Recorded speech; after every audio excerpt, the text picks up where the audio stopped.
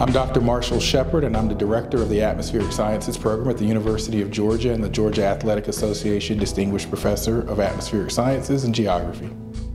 My name is John Trostel. I'm the Director of the Severe Storms Research Center here at GTRI. We're rivals on the football field in sports, but we are locked at the hip when it comes to studying weather and improving uh, access to information, data, and understanding for our state. And so I was ecstatic when my colleague John Trostel reached out to me with this opportunity because it represented another way that the University of Georgia and Georgia Tech collaborate. I've been involved in recent collaborations on things like Drawdown Georgia or the Georgia Climate Project, which focus more in the climate space. This is a real opportunity for us to collaborate to understand better weather in this state teach our students, and perhaps even provide a service for citizens and those living in the state of Georgia. I actually was online one night and saw a, uh, a used weather radar going up for sale um, from a company that's very well known in the uh, weather radar uh, community. Uh, they were going to put up their latest radar and so their research radar was uh, being offered. I got in touch with a collaborator at, at UGA and we put together a consortium of folks from UGA and Georgia Tech and GTRI to put up the funds for this computer. So UGA has put in half the funds, uh, Georgia Tech has put in the half the funds.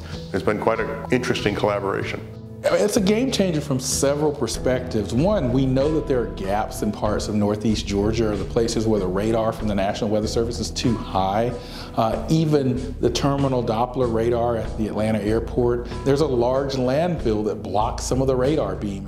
And that radar is designed specifically to aid flights coming in and out of Hartsfield Airport to look for signs of wind shear and severe storms in the area of, of the airport. And the problem with the TDWR, as it's called, is there is a landfill that's situated just to its northeast. So there's a big pie-shaped area in the uh, reflections coming back from the TDWR that are blanked out.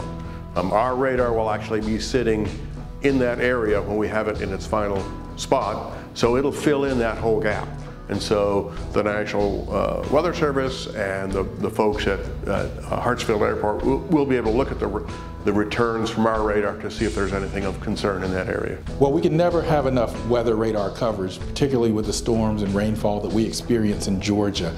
Now, the National Weather Service and even some television stations have longer wavelength radars and they can give you extended range coverage, which we need. This radar is unique because it's an X-band system, uh, has a shorter wavelength, which means it has less range, but the importance of that is that it can fill gaps.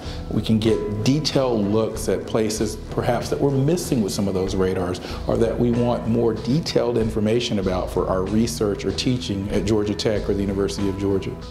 It's going to be in a very interesting area because it transitions from very urban to suburban to rural um, as we go across the state in between uh, Atlanta and Athens. And so be, by placing the radar right in the middle there, we can sample all of those different regimes and see how that affects uh, the weather that we see with radar. Uh, this enables real-time instruction of Georgia Tech and University of Georgia students.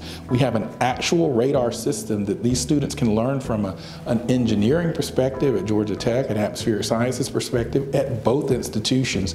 And then thirdly, it positions both universities to go after research funding. Uh, there are often research experiments that involve real-time observations and uh, this capability with the mobility of it might allow us to participate in future field campaigns studying anything from severe severe weather to urban flooding to even insect and bird migration.